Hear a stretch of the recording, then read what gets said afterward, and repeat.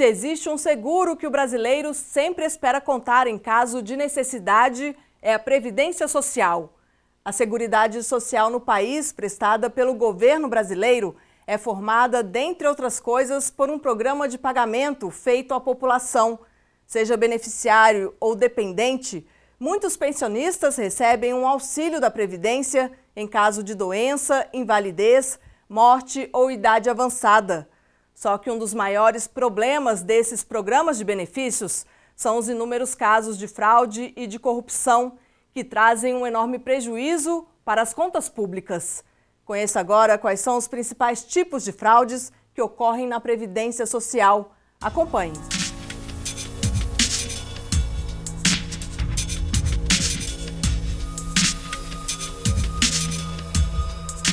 Junho de 2016. A Polícia Federal desmantela uma quadrilha em Montes Claros, no norte de Minas Gerais, que fraudava aposentadorias rurais. E não parava por aí.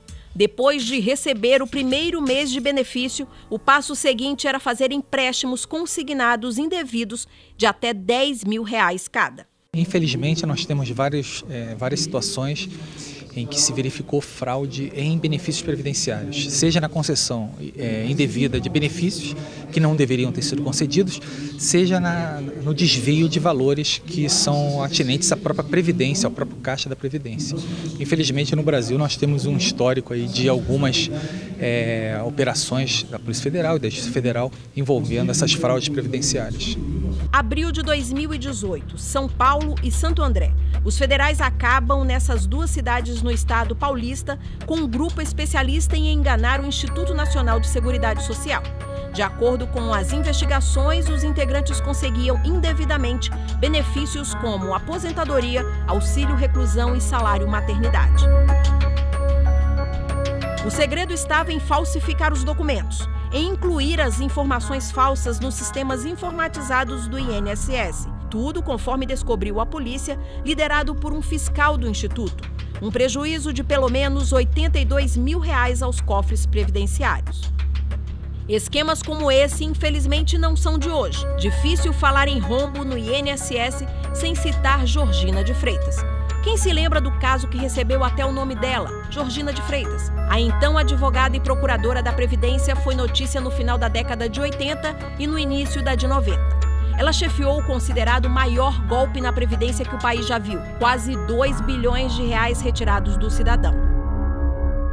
Trata-se de um caso em que essa advogada, juntamente com outros profissionais dessa área de advocacia, em conjunto com servidores do próprio INSS, montaram esquemas de requerimentos de benefícios fraudulentos, ou seja, apontavam-se uh, lapsos laborais fictícios que não uh, existiram na verdade e o INSS acabava pagando esses benefícios de forma indevida, de forma fraudulenta, o que gerou um, dano horário muito grande. Foram vários réus num processo grande, uma fraude que, salvo engano, gerou um prejuízo de mais de um bilhão de reais aos cofres públicos e que até hoje tem repercussões, né?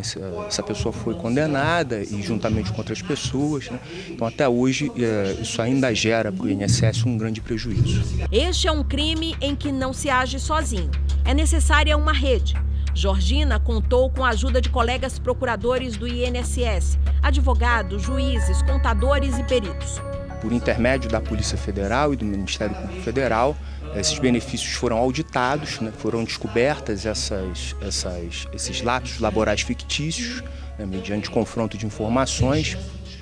E uma vez constatada a concessão irregular, essas pessoas foram processadas uh, e então condenadas pela prática uh, do crime de estelionato previdenciário, do crime de, de peculato ou do crime de, de apropriação indébita previdenciária também.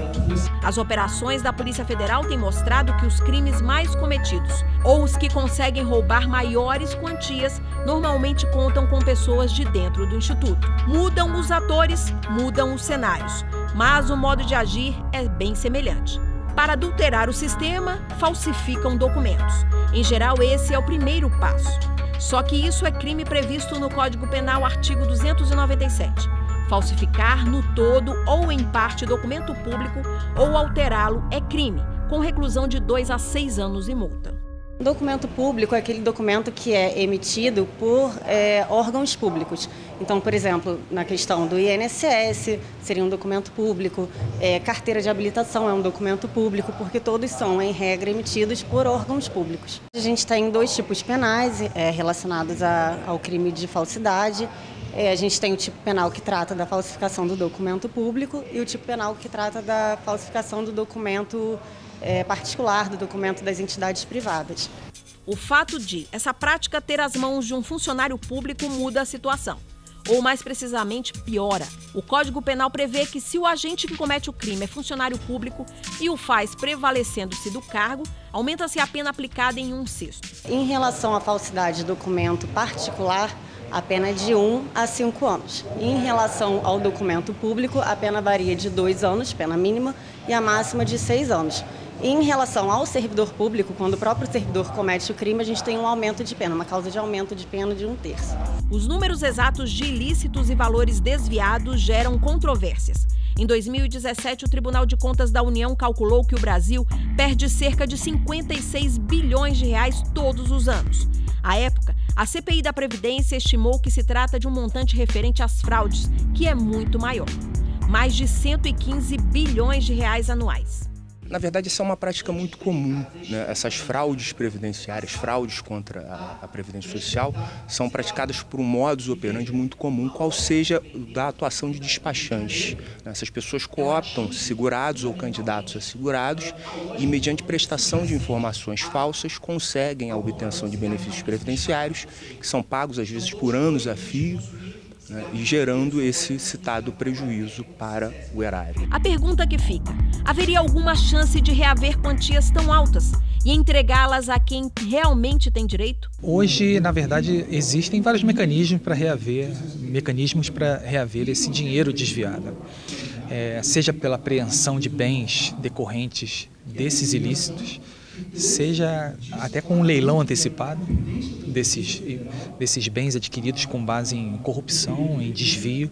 A Justiça Federal já se utilizou desse expediente, seja com penhoras online, passem junto com bloqueio de valores. E a própria cooperação internacional muitas vezes é utilizada, já que muitos desses valores vão para o exterior. E aí a Justiça Federal se vale da cooperação judicial e os mecanismos de cooperação entre judiciários brasileiros, brasileiro e estrangeiros para reaver esses ativos.